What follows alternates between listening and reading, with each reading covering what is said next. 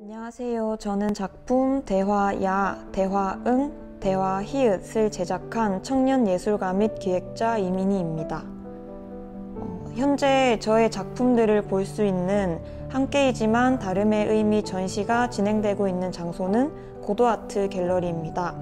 고도아트 갤러리는 대구 중구 청라 언덕 끝자락 필름통 1층에 위치하고 있습니다.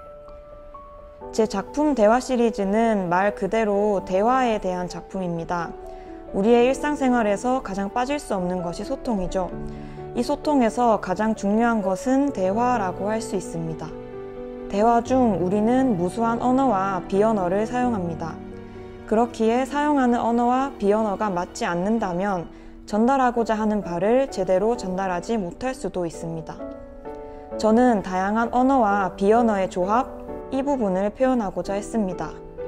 세 점의 대화 작품들이 어떤 대화를 하고 있을지 여러분들은 추측을 해보거나 혹은 그 대화에 참여해서 그들의 대화를 바꿀 수도 있을 것입니다.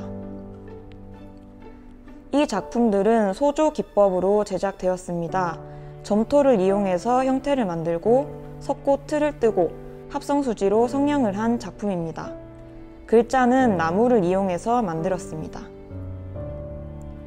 관전 포인트는 아무래도 작품의 머리 부분에 있는 글자와 몸의 행동이 무엇인지를 보는 것이겠죠. 관람하면서 이 행동에 다른 글자가 들어가면 어떨까? 또는 이 글자에 다른 행동이 들어가면 어떨까?와 같은 생각도 하실 수 있습니다. 바로 눈앞에 있는 이 세 점의 대화 작품으로도 가능한데요.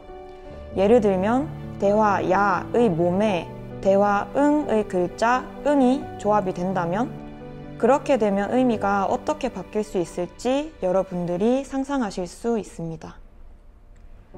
작품을 보시게 되면 머리 부분에 있는 글자와 어떤 행동을 하는 몸 부분을 볼 수 있습니다. 글자는 모양들을 똑같이 하지 않고 변화를 조금씩 주었고요. 몸 부분은 행동에 집중할 수 있게끔 최대한 간결하게 표현하였습니다. coloring 같은 경우는 글자는 까만색으로 몸은 흰색으로 너무 가벼운 느낌은 주지 않도록 하였습니다.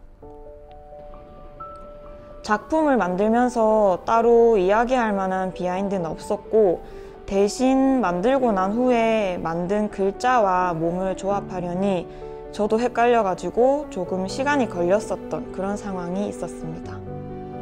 클리프 1912의 복합문화예술공간 보이드 갤러리에서 family color 예술가 가족의 삶의 탐구전이 11월 8일 일요일부터 28일 토요일까지 3주간 개최됩니다.